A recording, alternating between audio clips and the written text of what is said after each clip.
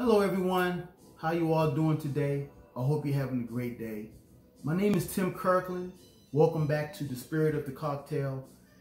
And today I'd like to introduce you guys to a nice drink that I found in several different websites. It's called the Claridge. And this drink basically combines gin, sweet, uh, I'm sorry, dry vermouth, dry curacao, and apricot uh, brandy. And the reason why I like this drink is because the apricot and gin go so well together in this drink. You guys have to try this immediately. So what we're going to do is start off with um, 15 mils or half an ounce of your choice of apricot brandy.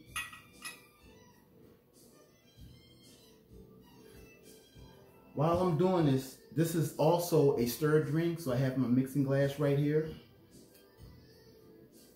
You're going to have 15 mils of dry curacao.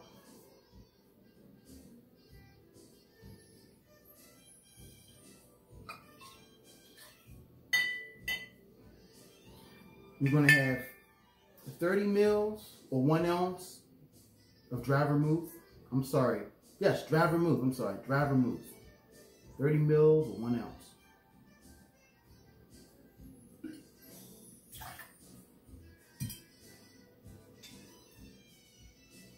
We're going to continue this with 30 mils or one ounce of your choice of London dry gin. In this case, I'm going with Beefeater. Again, that's one ounce or 30 mils.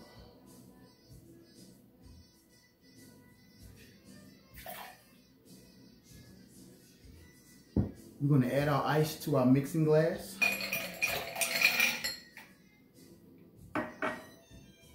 We're going to stir this for about 10, 20 seconds.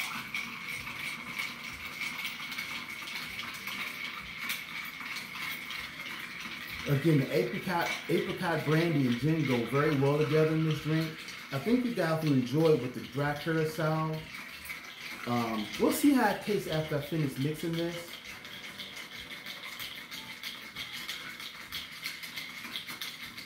Again, you want to stir this for about 10, 20 seconds.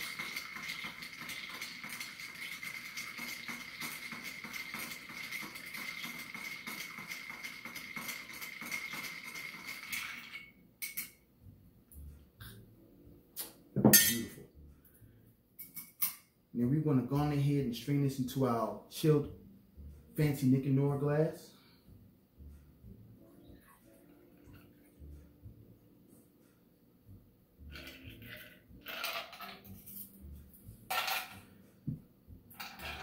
And there you have it, folks.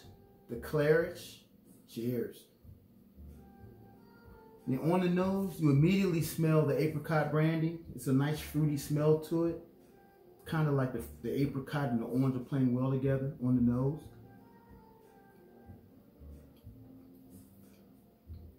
Absolutely. The apricot comes through so well in this with the orange curacao or the dry curacao.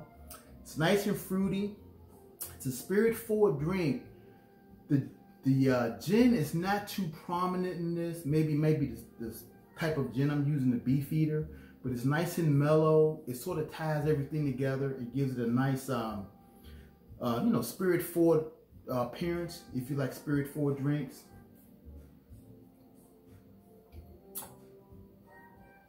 This is a nice drink if you really like the um, apricot brandy. This is perfect.